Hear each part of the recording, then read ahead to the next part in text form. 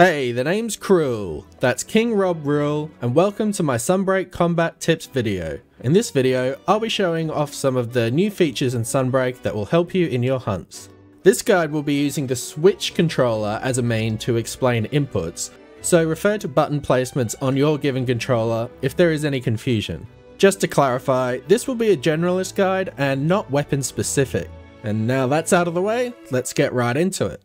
My first tip is to do with switch skills. You may be familiar with the ZL plus X plus A combination of buttons to swap between scrolls. However, what you may not know is that you can actually swap scrolls via the D-pad menu. From the default position on the D-pad menu, just press left on the D-pad and you will notice the flag icon for the scrolls becomes available. From here, you can simply press up or down on the D-pad to switch between scrolls. Personally, I find this far less cumbersome than the three button combo, but mess around with it and see what works for you. Also, if you find all the text for switch scrolls on the screen a little too cluttered for you, you can remove it by going into the menu, selecting game options, the HUD display, and unticking the box for switch skill info. You can also remove whatever else you want to from here as well. Next up is the Marionette Spider. These are the new endemic life forms that allow you to launch monsters into walls. So once you've collected a Marionette Spider, select it on the item wheel, aim your reticle with ZL, and press Y to use it. You can also shoot it without aiming with ZL, but it's far less reliable and I don't recommend it. Also, make sure you are already close to a wall or solid surface, or else you may not get a knockdown when launching the monster. Once the string has connected, face in the direction you want to launch the monster, ideally as close to a wall or obstacle as possible. Then all you have to do is press Y again and the monster will be launched. If you are successful, the monster will topple, and you will be able to damage it without interruption for a while. That's basically it for the Marionette Spider.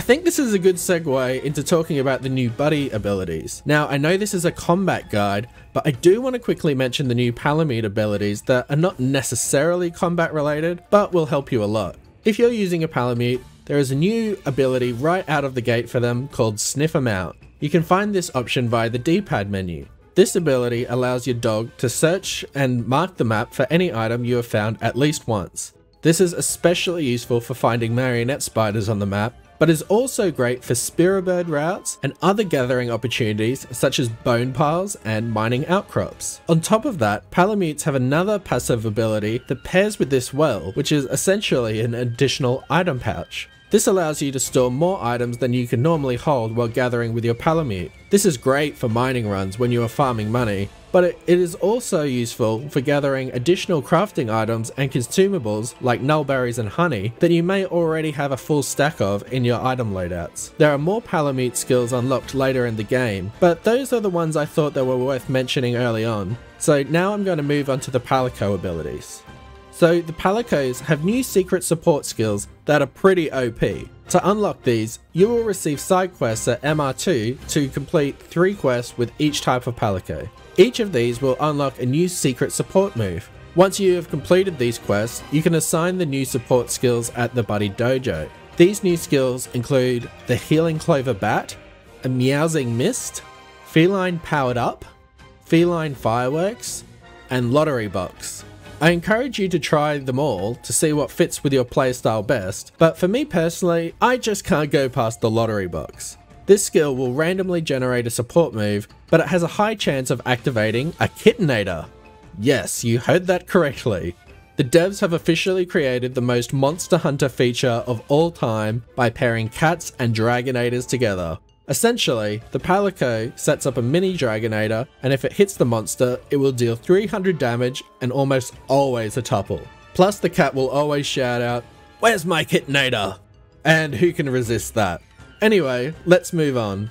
Next up are the new wire bugs, the gold and the ruby wire bugs.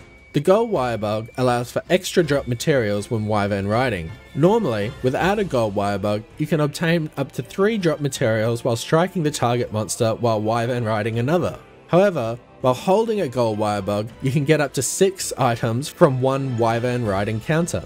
Also, if you have already collected 3 dropped materials from a regular wyvern ride earlier, upon collecting a gold bug, you can collect 3 additional drop materials upon a second wyvern ride encounter. While this is an awesome ability for farming materials, you must be strategic about when you pick up a gold wirebug because just like green wirebugs, when you pick them up, they're only available temporarily. So only pick one up when you are sure a Wyvern ride will be available soon. Since this is a timed effect, ending a Wyvern ride does not result in you losing a gold wirebug, so long as you are within the time limit of the effect.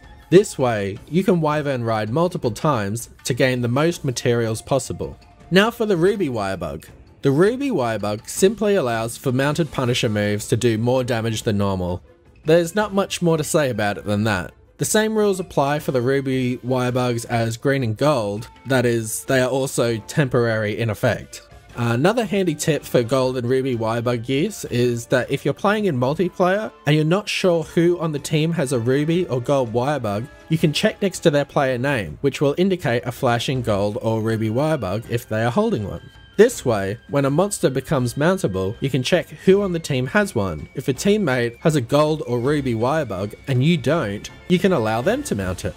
Speaking of Wyvern riding, there are new ensnaring life available on walls called Starburst Bugs. When Wyvern riding, you can launch monsters into these Starburst Bugs to deal more damage and inflict elemental blights. Sometimes these starburst bugs have an elemental property on them by default, but you can also influence the elemental blight they take on by striking them with an elemental weapon. That is, Striking them with a thunder weapon will give them the thunder element, and striking them with, say, a water element will have them take on water element, etc.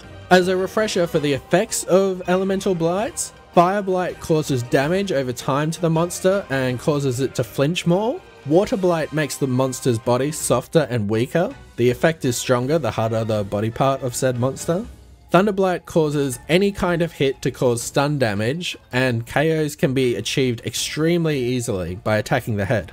Ice Blight causes the monster to move slower, but doesn't work on already exhausted monsters.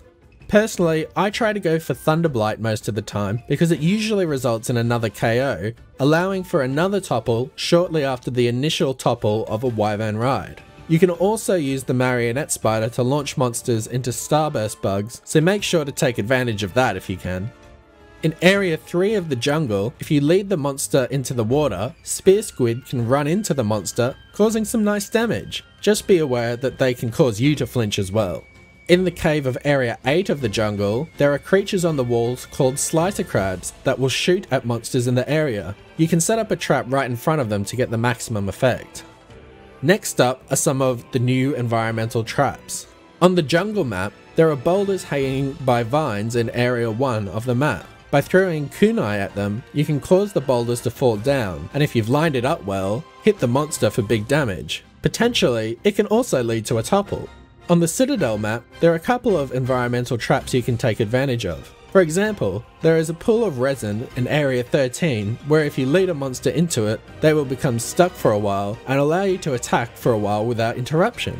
Thorny toads are also found in this area, and they can attach to monsters, causing them to flinch. If you attack the thorny toads while they are attached to the monster, you can cause knockdowns. There is also a poison tree in Area 10 that causes poison to the monster, but it is also a double-edged sword because you can easily be poisoned by walking near it. Thankfully, the poison effect doesn't last long after walking away from it. Also, in Area 4, there is a building that can be knocked down and provide random items such as barrel bombs and healing items. It can be knocked down by launching a monster into it, but sometimes monsters will just knock it down on their own. And that's basically it for my generalist combat tips for Sunbreak. If you have any other suggestions or anything that I may have left out, be sure to leave it in a comment down below. If I get enough, I may make another video in the future including them, and if not, I'll just leave a pinned comment down the line. Anyway, I hope you found this video useful. Be sure to like, comment, and subscribe if you did. And if you could share it with a friend, that would be even better. I've been King Rob Rule, and I'll see you in the next video. See ya!